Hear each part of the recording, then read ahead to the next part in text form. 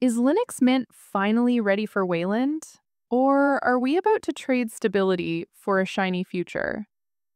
Today, we cut through the hype and test what Cinnamon 6.6 actually brings to the table usability, performance, hardware quirks, and whether you should switch right now.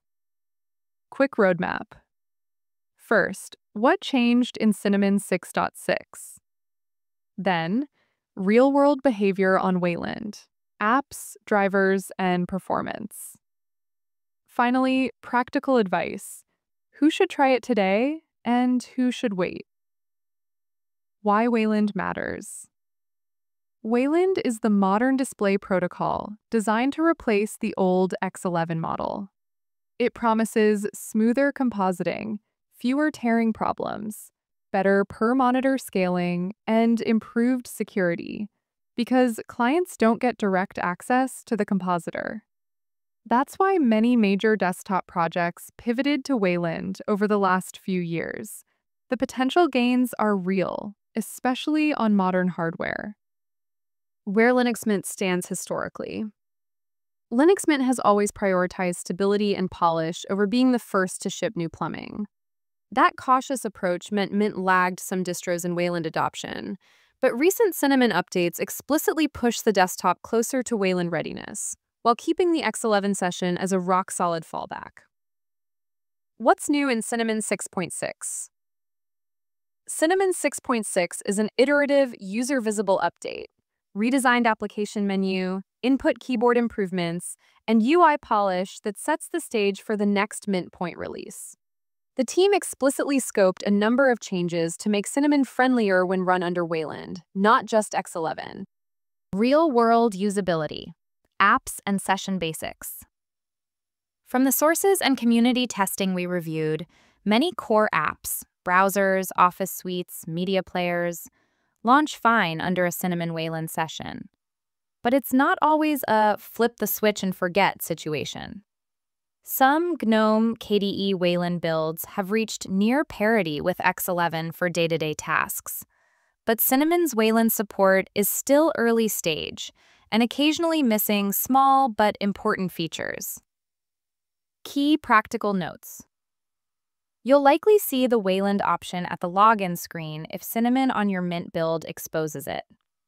Expect XWayland to handle legacy X11 apps. It's good, but sometimes introduces quirks. Performance, expectations versus reality. Benchmarks across desktops show mixed results. In many cases, Wayland matches or outperforms X11, especially with modern AMD Intel GPUs and current compositors. Some websites and other bench tests demonstrate Wayland's gains in some gaming and desktop scenarios, but the outcome depends strongly on drivers, compositor maturity, and whether apps use native Wayland paths or XWayland. Translate that into day to day. Desktop animations, scrolling, and window transitions feel smoother on many Wayland setups. Full screen games can be similar or better on Wayland, but results vary game to game and GPU to GPU. Hardware and driver landmines. NVIDIA has historically been the trickiest vendor for Wayland. While the landscape improved and NVIDIA has been working on GBM Wayland support, users still report crashes, freezes, and glitches on certain driver versions and laptops with hybrid graphics. Community threads and developer forums show real examples of bugs that affect scrolling, terminal rendering, and even occasional render halts under Wayland with NVIDIA drivers. For AMD and Intel integrated GPUs, Wayland is generally the safer bet today. For NVIDIA proprietary driver users, extra caution and testing is strongly recommended. Known Cinnamon Wayland specific rough edges. Community reports show Cinnamon's Wayland session can still drop or misconfigure small but important features. Keyboard compose mapping regressions, panel or applet breakage on some systems, and inconsistencies with screen locking or fractional scaling in edge cases. These are not universal, but they're the kind of usability dents that make a day-to-day -day session feel unfinished for some users. XWayland, the compatibility bridge. XWayland lets legacy X11 apps run on a Wayland session.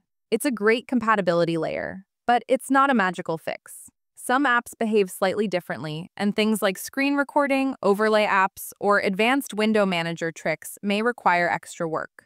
What this means for Mint's roadmap and users. Short term, next few releases.